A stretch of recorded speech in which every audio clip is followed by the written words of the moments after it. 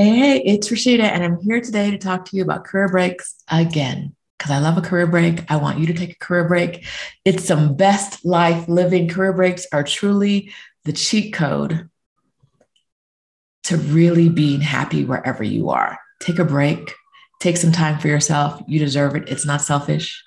You deserve it. And if it is selfish, be selfish, right? Like it is the way to go. And so today we're talking about it. And we're going to talk about one of the questions I get a lot when people are in the planning process, which is Will I be able to get a job?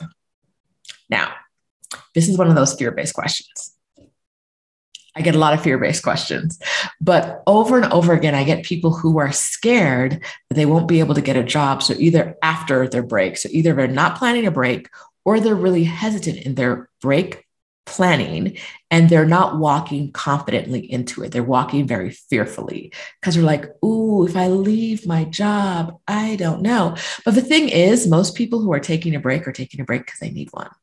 Because that job that they don't want to walk away from isn't treating them right right now, right? Like the what they're giving versus what they're getting just isn't enough to make them want to stay but they still are scared to leave. So today we're going to talk about how to deal with those feelings and the fears that come up around not being able to get a job when your career break is over. But first, yes, you'll be able to get a job. You will be able to get a job. My friend Mel Bailey said this once to me, and it really stuck, which was um, I asked her in an interview, I'll link to Mel's interview, uh, Mel and Kyle. Uh, I asked her how she felt about leaving her job. And she was like, Well, I hated my job. She, I was confident that I could come back and get another job that I hated just as much. So why wouldn't I leave? And now that is an extreme. Not all of you are going to hate your job, but unless you really, really love it, can't you get another job just like the one you have? Right? Can't you get another job that makes you just as unhappy? Probably paying more right? Like, why? You will be able to get a job. But the better question is are you going to want a job after your career breaks? Have your interest shifted? Maybe you'll be more interested in either a different um, a different field or entrepreneurship or something else. Uh, you might not want to do the thing you're doing right now and giving your space yourself time and space to decide that is one of the best things you can do for yourself on a career break.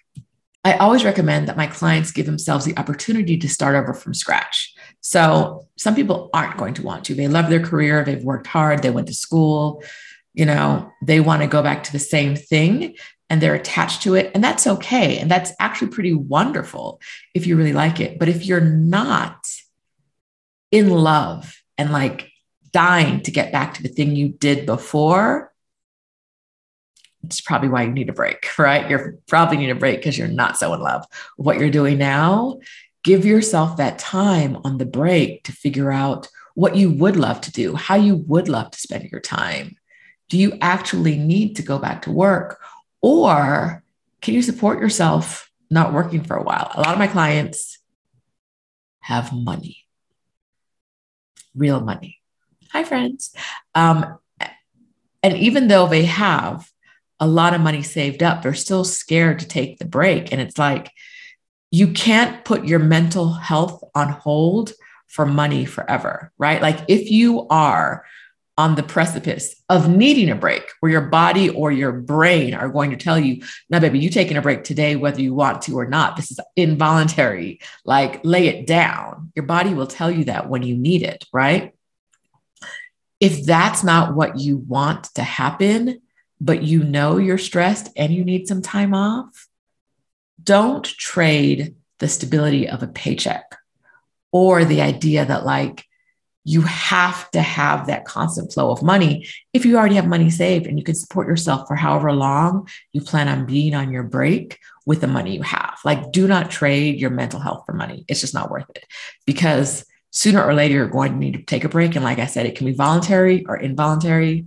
Take a voluntary break, plan for it, live it up. But okay, so you know you want to get back in the job market. Here are five steps to get you back on the right foot. First, make sure you're ready. This is really important. And related to what I said above, if you're entering the job market after a career break, you really got to actually want a job. Like searching for a job when you don't want a job. Haven't we all been there? I know I have. Like, I don't even, I'm applying for these places, I'm going to interviews, and I really want to tell them it's leave me alone. Like, don't talk to me, don't ask me anything. I don't want to be here. And the way you're acting, you don't want me to be here either. So, could we just wrap this up? Um, make sure you want a job and make sure that the specific jobs you're applying for are jobs you want, or you'll bring the wrong energy into your applications and your interviews. I definitely did that. You got to be positive. You got to be pumped. You got to be ready to kick ass in every job seeking communication if you're going to get back on the market. If that's not where you are, let's look at alternatives.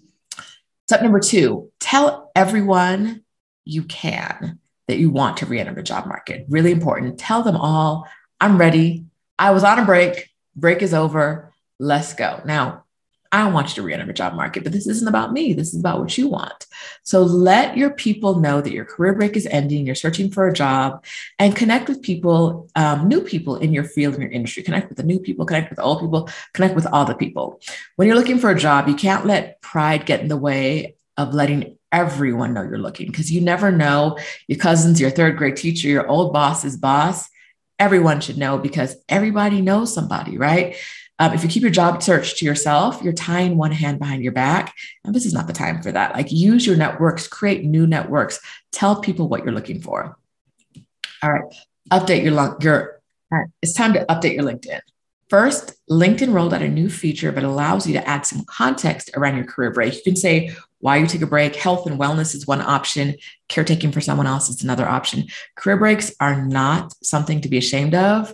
Most employers, in my experience, most individuals who are doing the interview process look at career breaks like, ooh, dang, I wish I could take one, right? Most humans know that a break is pretty awesome and they want one. So don't be afraid. Update your LinkedIn tell people you're on a career break, but you're ready now. Um, LinkedIn also has a function that allows you to mark your account as looking for a job in a way that recruiters can see it. So turn that on so the recruiters don't have to wonder if you're looking or not. Change your headline on LinkedIn to clearly state that you're seeking a job. This is another way to let everyone know you're looking. All right. Next on the list, update your resume. Okay, yes, obvious. But it's a little more of an updating your resume to highlight your last role. Make sure you update it with the time you took off, what you experienced while you were away, everything you learned, every life lesson you stumbled on. Add those all to your resume. So when you're speaking to hiring managers, they'll have a clear idea of what you did between jobs. And truly, if that was rest and relaxation, go ahead and put that there. Let them know that you're coming into the job as your best self. Like, let that be a positive. I took off time so that in the future I could be a better employer, a better employee. Now, that might not be why you took the time off. It's probably not why you took the time off. But tell them that. Tell them that you are showing up whole. You were stressed at your last job, but now you're rested, you're relaxed. You took three months off, you took a year off, and now you're like, boom, ready to get it. But you know, don't stress. If you've taken time off to live a life of your dreams, you're someone who gets shit done right? To be able to get to a career break, you make things happen and the job search won't be any different, right? You'll get it done. You'll get it done well. Don't doubt yourself. Believe in your ability to get what you want. Okay. I am a career break expert, a career break coach. I help people with this all day long. There are three ways to work with me. You can grab my free sabbatical planning guide in the description below. You can work with me one on one. I'll sit down, look at your plan, look for holes, look for things you could do differently. Try to make sure that your plan is as holistic from top to bottom, beginning to end as it can be. We can do that in an hour. We sit down, we work it out. The other thing is, I run a year long career break program and move abroad. I help people when they want to move abroad as well. It's called From Burnout to Bliss. And it's full of women who are changing their life. It's full of community. We get together once a month for group coaching, and group coaching is so special. Like there's a lot of magic there. The women get together and they're very supportive of each other, but not just that, they're helping each other with ideas. They're providing ideas, and their questions are providing inspiration for other people. So there is magic in group coaching. I believe in it strongly, and I offer it in From Burnout to Bliss.